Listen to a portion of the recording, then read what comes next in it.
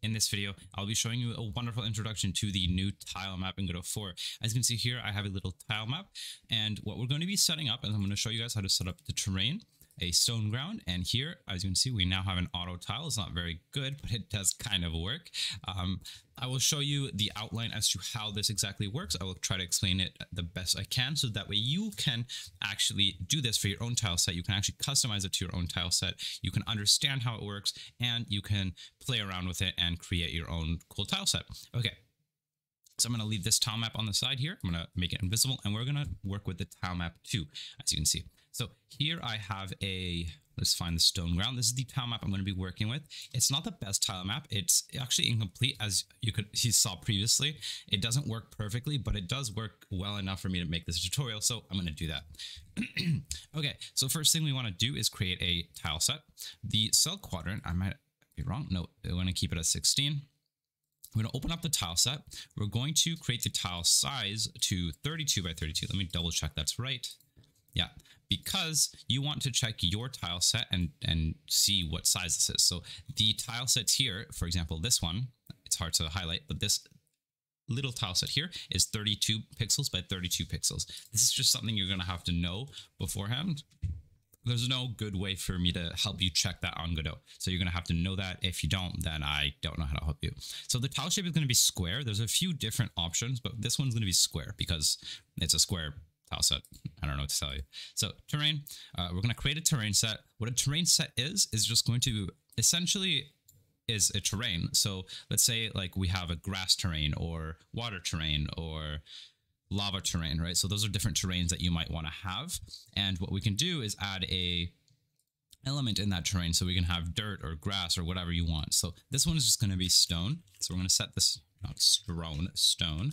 There we go. So stone. You can set the color to it to have it uh, customized. We'll just do like gray if I can find a grayish color. Boop, boop, boop.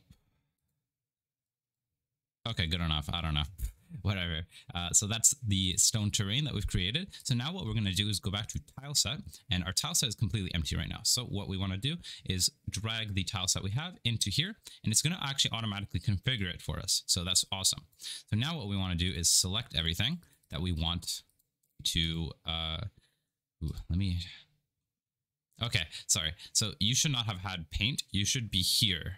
So now what you're going to want to do is go to paint Paint is where we're going to basically be editing things. So paint is essentially not just for terrains, but for everything, for physics, probability, whatever. Uh, one good thing is like YSort. I, I sometimes play around with this, um, not for 2D top down, but maybe for a platformer. Uh, physics is also really good. Um, I think if you add collision to a node, it'll be there. So I'm not going to do that now, but that's where it would be. And there's a bunch of this paint is is where you do most the node uh, tile set configurations. So this is a good place to start. So let's go to terrain. We're going to zoom in. So here you would have to select which terrain you're working on and then the stone terrain.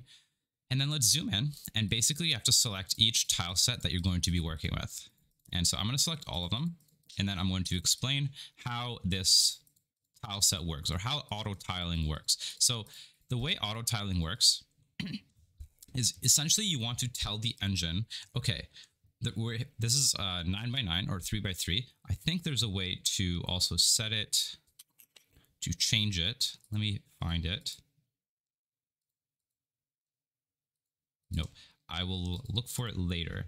But at the moment, we have a 3 by 3 If you don't have that, um, let me know in the comments. And I think there's a, a way later. I'll check that later. But um, if you have these little squares, each tile has 3 by 3 little boxes. This box is essentially telling us, or we want to tell the, the engine, okay, so if we have a tile here, or a tile on the left and the right, so we have something connected to these tile sets, then we want to put this on the top left, right? So if we have, let's say this one, we want this one to be in the middle of, of anything. That means we have to cover it completely around it. So that means we have to cover the entire thing. So this is basically telling the engine that we have something connecting to the top three and the top right and the top bottom and the top left, right? So that means there's a tile all around that tile, right? There's tiles around that tile, right? So now what we want to do is essentially highlight things that allow us to do that, right? So this one is a top tile. So that means we should only have that top tile on top of something where there's connect when it's connected to something on the left, but not on the top, something on the right, but not on the top, right? So we, we don't want this to be empty and we want something on the bottom completely, right? So essentially it'll look like this, right? So we want this to be on the top of something on the left and right, but not here. So we don't want to highlight this or this because then this won't trigger, right? So that's kind of how the tile set works. It's a bit complicated, but essentially for this guy, what we would want to do is something like this. So it would look something like this. I believe, let me double check. So we can go to the tile terrain here. Ooh, no, uh, tile set, we go here. Yeah, so it'll look like that.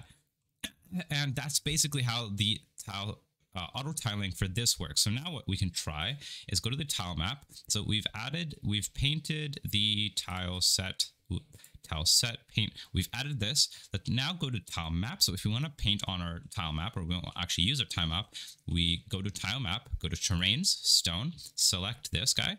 Um, this is paint. This is bucket. This is rectangle. Let's actually do rectangle and see what we get. There you go. So there's a rectangle. It's auto tiled already.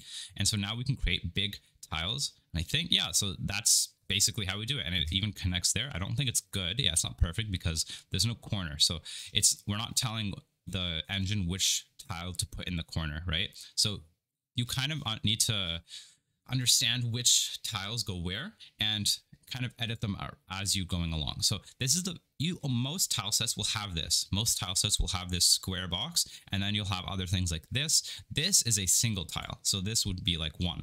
This is like a, a long tile. So you'd have like one long one. This is a long another long one. Um, most tile sets should have one for each direction. So there should also be one that goes um, no, that's no, that's wrong. That's it. That's right. So there's there's two directions. So now what we can try is going here to stone. And so now what we can try doing is drawing a rectangle like that or a long one. And then we can also do left. And so that's how we do the auto tile, right? So if we can also do long, etc. So that's how we create a nice, easy tile map auto tile in Godot.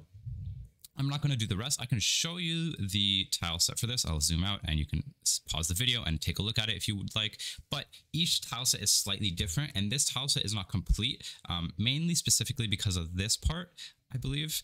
Um, I'm not 100% sure. I didn't really play around with it too much, but it does kind of work enough so that you can play around with it. But hopefully you guys kind of understand how auto, set, auto tiling works. Um, I'm not an expert on it. I'm not the best, but I kind of understand enough to get it to work. So hopefully you guys can get this to work for your game. If you can't, um, I would love to help you guys. Join my Discord and I will do my best to help you. And we have a few other people who might be able to help. So definitely do that. Uh, the, the, the, Discord will be in the description down below. So join that. I also have a Twitch you should join. You should also sub to my channel if you're not. Um, most of you are actually subbed, which is actually kind of cool. So over, I think 50% of you who watch my videos are subbed, which is awesome. So if you're one of those non 50%, um, you should definitely sub and like my video for the algorithm and go comment down below. And I will see you guys next time. Bye bye.